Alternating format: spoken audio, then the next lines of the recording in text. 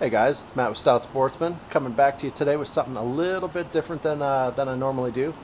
Um, what I got here is my 2011 Ford Edge. It's uh, limited front wheel drive, and um, been experiencing a little bit of a exhaust leak this last few months.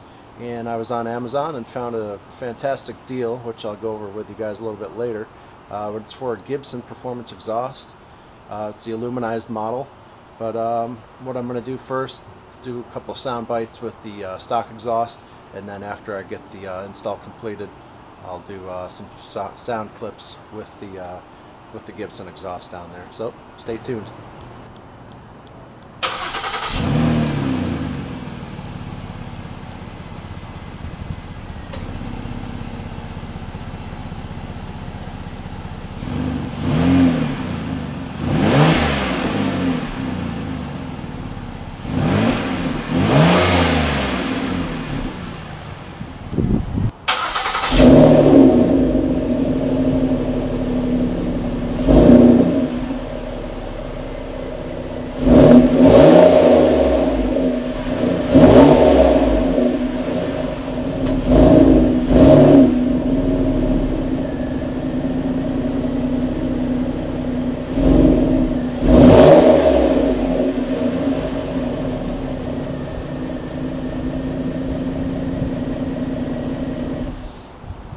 There you go, guys. That is the stock exhaust, and afterward the uh, Gibson exhaust. That's the uh, dual outlet out the back, aluminized.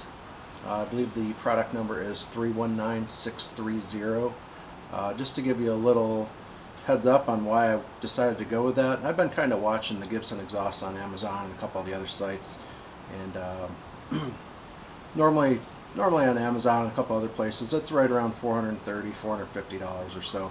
And I was on Amazon, I think it was last Thursday, and I saw it for $228. That was with shipping. Um, so I bought it. Uh, it's kind of a no-brainer. Um, so I, so I, you know, bought it on Amazon, paid for it, and the very next day I went back on Amazon to look at it, and it was up to $430 and some change. So basically, uh, I got a steal, um, just a hair over $200 off. And um, what's today? Today's Tuesday. I got the I got the exhaust Monday afternoon.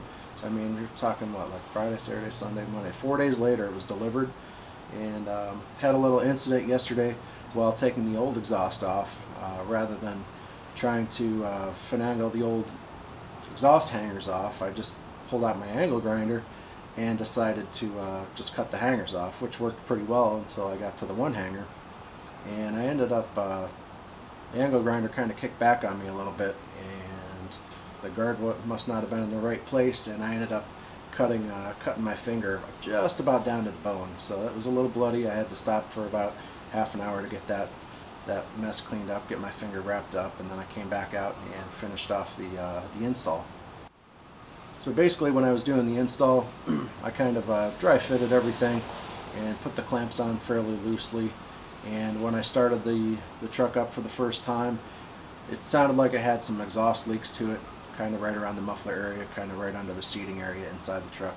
So basically what I did, I shut, shut her back off and crawled back underneath, undid all of my connection points, all the joints where the pipes come and get clamped together, and I took some Permatex, I believe it's a maximum temperature uh, formula that they have. It's like a uh, it's like a goldish red color.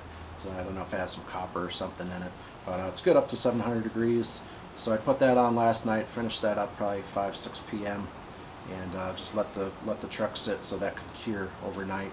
Uh, you're supposed to give about 24 hours. I ended up giving it I don't know maybe 18 or so.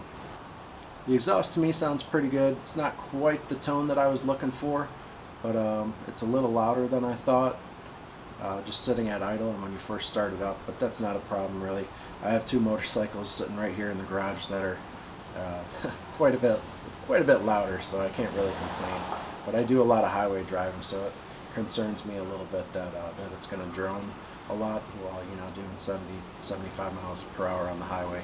But we will see in the upcoming days. Um, I hope you guys enjoyed this video. Stay tuned Matt with Stout Sportsmen. I'm out.